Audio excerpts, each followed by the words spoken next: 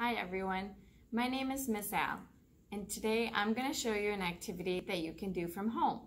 It's called raised salt painting. All you'll need is a piece of paper, some watercolor paints, liquid glue,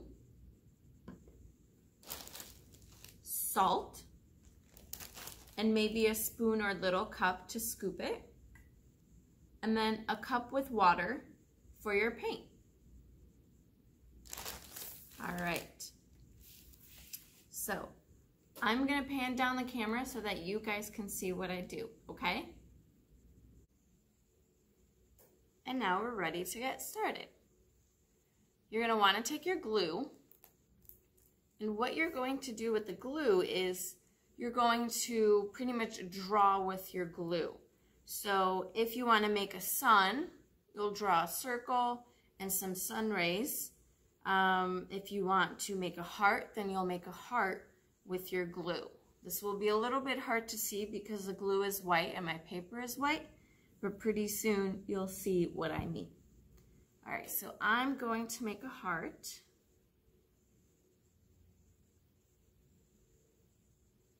And I want to make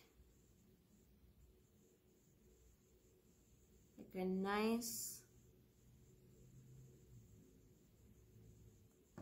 nice line with my glue. Let me see. So if I bring it closer, you can see that I drew a heart with my glue. Um, I think I'll make a star over here.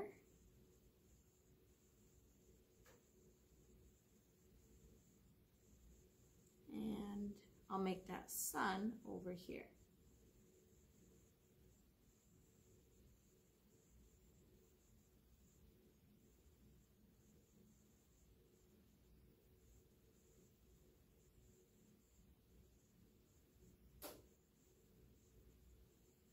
Perfect.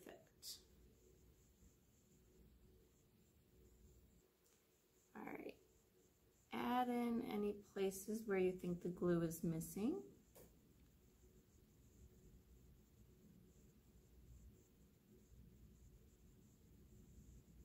Want a nice thick line of glue.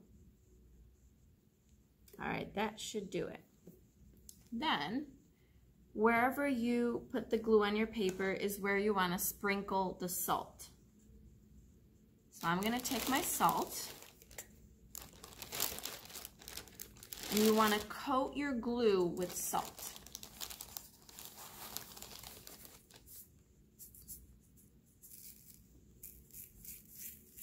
Regular table salt will work just fine.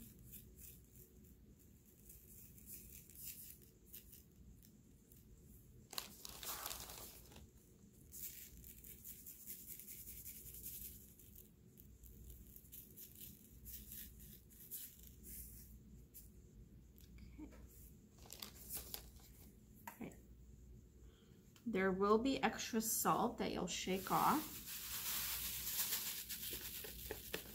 And that extra salt you can use to cover up the rest of your picture.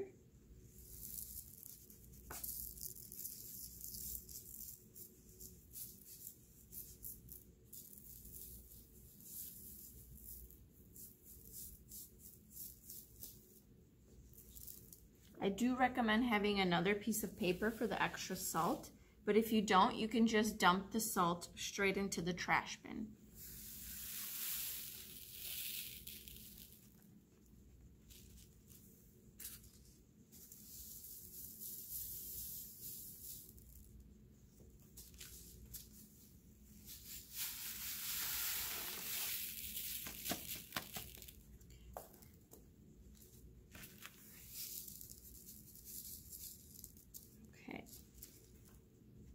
Now you want to gently tap the extra salt away and now you can see that my painting is has a little edge. That's the salt and the glue right there. All right, you want to put the salt away. You won't need that anymore. clear your painting area. All right. Now we'll get to the actual painting. This time, watch what happens to the color when I start painting my salt. The trick is to have a lot of water and to really saturate your paintbrush with some color. Okay. Dip in water, then into the paint, dip it into water again, just so that I get a very watery color. Okay? And then I just want to touch my salt. Might even dip a little bit into water and then back onto the salt. Dip in water, get more paint.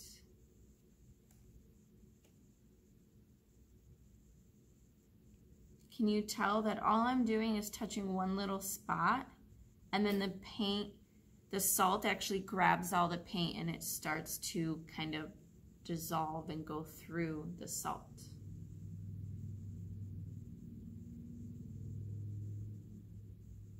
And the more watery your paint is, the more the paint spreads.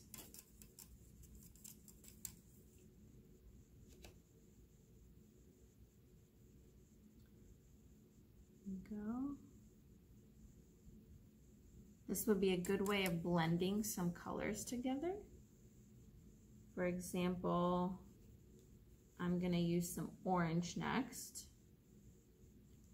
And instead of painting the orange right next to the red, I'm going to do it just a little bit further so that the colors can blend together nicely. There we go. Kind of has a little tie-dye effect.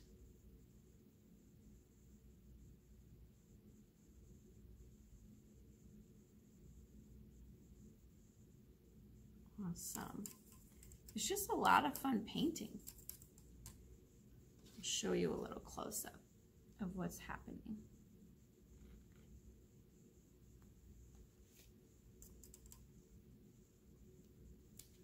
All I'm gonna do some blue. I'm gonna do my star just to show you.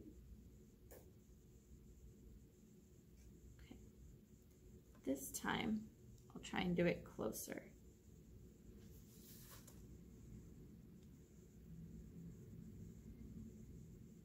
Did you see how the color just spread?